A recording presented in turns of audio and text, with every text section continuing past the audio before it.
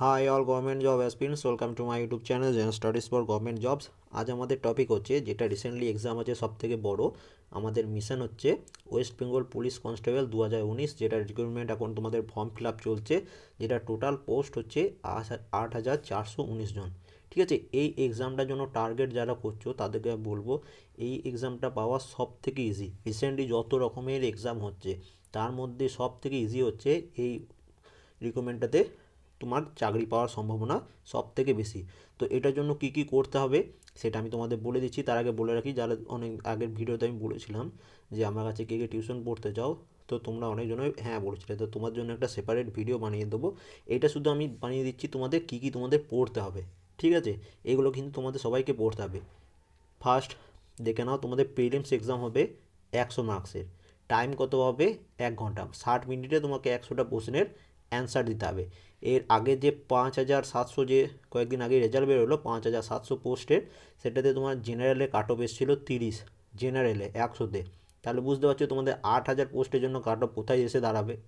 একটু পটা পড়লেই কিন্তু তোমরা চাকরিটা পেয়ে যাবে। ঠিক আছে? এটা এবার এখানে একটা ব্যাপার হচ্ছে যে একশো মার্কসের এক্সাম এবং তার সাথে মনে রাখো যে এক্সাম ল্যাঙ্গুয়েজ হবে বেঙ্গলি প্লাস নেপালি ঠিক আছে? কোনো ইংলিশ থাকবে না। ইংলিশ ল্যাঙ্গুয়েজে প্রশ্ন থাকবে না, বেঙ্গলিতে এবং নেপালিতে, এই দুটো ভাষায় তোমাদের প্রশ্ন হবে। নেক্সট দেখে নাও যে একশো মার্কস হবে, তার মধ্যে পঞ্চাশ মার্কস থাকবে জেনারেল অ্যাওয়ারনেস এইটার জন্যই আগের পরীক্ষায় তোমরা কয়েকজন পাস করতে পেরেছ, কয়েকজন পাস করতে পারো না কারণ ম্যাথ ইজি ছিল, কিন্তু একটু লেন্দি ছিল মানে একটু করতে হবে ক্যালকুলেশন করতে হবে, তখন তোমরা সেই টাইমের উপর সেটাকে করে উঠতে পারো নি রিজনিংও কিন্তু খুব ইজি আসে। তাহলে এখানে টোটাল দেখে নাও, যারা খুব ভালো স্টুডেন্ট তারা তো এই এক্সামে তো এই এক্সামে আগে যেটা হয়েছিল পাঁচ হাজার সাতশো তিরিশের মিনিমাম কাট কিন্তু ম্যাক্সিমাম হয়তো অনেকজন কেউ ষাট পেয়েছে, কেউ সত্তর পেয়েছে, এরকম, কিন্তু প্রচুর ভালো স্টুডেন্ট আছে, কারণ কোশ্চেন খুব ইজি হয় এবং তাদের কাছে এগুলো কোনো ব্যাপার না। ঠিক আছে? এবার তোমাদের যেটা সবাইকে ম্যাক্সিমাম যাদের মানে এটাই টার্গেট তোমাদের টার্গেট করতে হবে এইটা। ঠিক আছে? জেনারেল ওয়াইসে পঞ্চাশের মধ্যে তুমি খুব ভালোভাবে না পড়ল ঠিক আছে? কুড়ি তুমি আরামসে পেয়ে যাবে। ঠিক আছে? ম্যাথ এবং রিজনিং এই রিজনিং তো খুবই ইজি আছে। তুমি ধরো না এখান থেকে দশ এবং ম্যাথ থেকে দশ। কুড়ি, দশ, তিরিশ, দশ, চল্লিশ। চল্লিশ পেলে তুমি আরামসে এর প্রিলিমস ক্লিয়ার হয়ে যাবে, আরামসে। এত তিরিশ কাট অফ উঠেছে তোমার পাঁচ হাজার সাতশো পোস্টের জন্য। আট হাজার এর জন্য কোনো দিনও চল্লিশের উপর কাট অফ যাবে না। ম্যাক্সিমাম বলছি, ঠিক আছে? কাট অফ তো তোমার ওই তিরিশের কাছাকাছি ঘোরাঘুরি করবে। তো তোমাকে পাস করতে হবে মোট কথা। কম পেয়েও পাস করো, বেশি পেয়ে পাস করো, মোট কথা পাস করতে হবে। এবার এটার জন্য জেনারেল অ্যাওয়ারনেসটা কী কী পড়তে হবে সেটা আমি তোমাদের বলে দিচ্ছি। এটার জন্য অনেকটা পড়তে হবে। সেটা হচ্ছে আমি দেখো তোমাদের এখানে লিস্ট বানিয়ে লিখেছি হ্যান্ড রিটেন এগুলো। প্রথমে ভারতের ইতিহাস সবাই জানো, এখান থেকে বেশি প্রশ্ন আসে প্লাস ন্যাশনাল মুভমেন্ট এখান থেকে প্রশ্ন আসবে। নেক্সট হচ্ছে বেসিক কম্পিউটার থেকে একটি কি দুটি প্রশ্ন তোমরা পেয়ে যাবে। তারপরে যেটা most important country and their currency capital parliament এবং রাজনৈতিক দল। দেখো মানে বিভিন্ন দেশের কারেন্সি মানে হচ্ছে কী কী টাকা? যেমন ইন্ডিয়াতে টাকা, অন্য কোনো দেশে তাদের কারেন্সিটা কী? ঠিক আছে, সেইটা একটা প্রশ্ন আসবে। সেই অন্য দেশের রাজধানী কান্ট্রি এবং তাদের রাজধানী এবং কান্ট্রি এবং তাদের পার্লামেন্টের কী নাম? ঠিক আছে, সেইটা এবং কোন কান্ট্রি বিভিন্ন কান্ট্রিগুলো আছে, তো তাদের মধ্যে যে রাজনৈতিক দলগুলো খুব পপুলার সেইগুলো তোমাদের নাম মনে রাখতে হবে, ঠিক আছে? এগুলো কিন্তু তোমাদের সে আগের দিন, আগের পরীক্ষা তো পড়িয়েছিলাম পেড কোর্সও দিয়েছিলাম, প্রচুর কমনও এসেছিল অনেকজনই পাস করে গেছো, ঠিক আছে? এবার যেটা পড়তে হবে জেনারেল সায়েন্স জেনারেল সায়েন্স হচ্ছে ফিজিক্স কেমিস্ট্রি বায়োলজি ঠিক আছে? এই তিনটে তোমাদের পড়াতে হবে, পড়তে হবে এবং আমিও পড়াবো, ঠিক আছে? এগুলো সব কিন্তু আমি পড়িয়ে দেবো ফ্রিতে কোনো কোনো এগুলোর জন্য কোনো টাকা লাগবে না, শুধু পেড কোর্স সরি যেটা আমার কাছে টিউশন যেটা পড়বে, সেটা হয়তো পেড কোর্স হবে। ঠিক আছে? এবার দেখো স্পোর্টস অ্যান্ড ভেনিউ এগুলো তোমাদের পড়তে হবে। এগুলো তোমাদের আগে থেকে পড়া আছে, শুধু একবার সেই নোটগুলো বার করে আরেকবার রিভাইজ করে নেবে, ঠিক আছে? সবাই পাস করবে এই পরীক্ষাটাতে, যদি ইচ্ছা থাকে, ঠিক আছে? নেক্সট থাকো ভূগোল পড়তে হবে।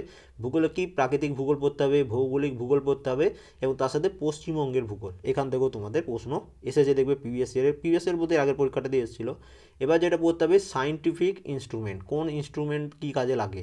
সেই সাইন্টিফিক ইনস্ট্রুমেন্টগুলো তোমাদের পড়তে হবে। নেট দেখো স্টেট সিম্বল কোন রাজ্যের কি কোনটা সিম্বল সেটা তোমাদের পড়তে হবে। এখান থেকেও একটা প্রশ্ন আসবে। কারেন্ট অ্যাফেয়ার্স তো হচ্ছে কারেন্ট অ্যাফেয়ার্স তোমরা জানো কারেন্ট অ্যাফেয়ার পড়তে হবে। কারেন্ট অ্যাফেয়ার্সের নতুন সিরিজ আবার আমি দুই তিন দিনের মধ্যে থেকে স্টার্ট করব, ঠিক আছে?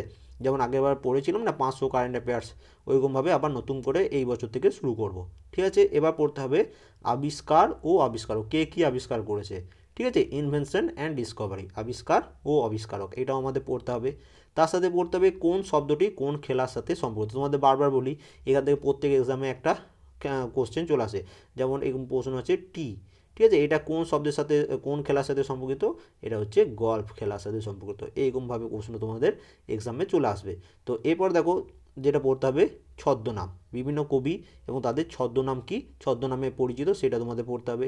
তারপর যেটা পড়তে হবে রিসার্চ সেন্টার বিভিন্ন ধরনের রিসার্চ সেন্টারগুলো যেগুলো আছে, সেগুলো কোন রাজ্যে বা কোথায় অবস্থিত, সেটা তোমাদের পড়তে হবে। এবার নেক্সট দেখো, যেটা হচ্ছে ভারতের প্রথম প্রধানমন্ত্রী, রাষ্ট্রপতি হোম মিনিস্টার এই ধরনের প্রশ্ন যেগুলো ফুটের জন্য পড়েছিলে, সেগুলোই আবার নতুন করে পড়তে হবে। এটা খালি তোমরা রিভাইজ করবে, ঠিক আছে? তারপরে দেখো, গুরুত্বপূর্ণ বই ও তাদের লেখক, এটাও পড়তে হবে। নেক্সট দেখে না নোবেল প্রাইজ বা প্রাইজ রিলেটেড যত ধরনের আছে অলিম্পিক তারপরে যত সম্ভব দু হাজার আঠারোতে কারেন্ট অ্যাফেয়ার্সগুলো হয়েছে, সেগুলো সব আমরা আবার নতুন করে পড়ব। তোমরা খালি পড়বে, আমি তোমাদের নোট জোগাড় করে দেবো, তোমরা শুধু পড়বে, ঠিক আছে? এবং আমি চাই, এবং সবাই লাস্ট হচ্ছে ভারতের সংবিধান। আমি চাই যে তোমরা যারা যে কজন আছো কোনো ভালো কোচিং সেন্টারে পড়ছো কি পড়ছো না জানি না, তোমরা কী করছ আমি সেটাও জানি না। তো আমি চাই যারা আমার চ্যানেল থেকে পড়বে তারা যেন এই আট হাজার চারশো উনিশ জনের মধ্যে একজন হয়। একজন হলেই হবে। তোমাদের নিজেকে তুমি একজন, তুমি এর মধ্যে একটা সিলেক্ট হয়ে যাও। তার আগে পাঁচ হাজার সাতশো আছে যেটা সেটাতেও তোমাদের মধ্যে অনেকজন এই মেন্সেরও আমি ক্লাস স্টার্ট করব। তোমাদের মাঠগুলো হয়ে যাক এবং এইটার ক্লাস আমি স্টার্ট করব ভাবছি। ঠিক আছে? এবং যারা আমার কাছে টিউশন পড়তে চাও, তো তোমাদের আমি একটা সেপারেট ভিডিও আজ রাতের দিকে বানিয়ে দেবো। ঠিক আছে? অ্যান্ড কারও কোনো রকম মন্তব্য থাকলে অবশ্যই কমেন্ট করো এবং তার সাথে আরেকটা বলে রাখি, এই ম্যাথ এবং রিজনিংয়ের আলাদা করে একটা মানে কোন কোন চ্যাপ্টার তোমাদের ভালোভাবে প্র্যাকটিস করতে হবে, সেটা আমি আলাদা করে আর একটা ভিডিও বানিয়ে দেবো।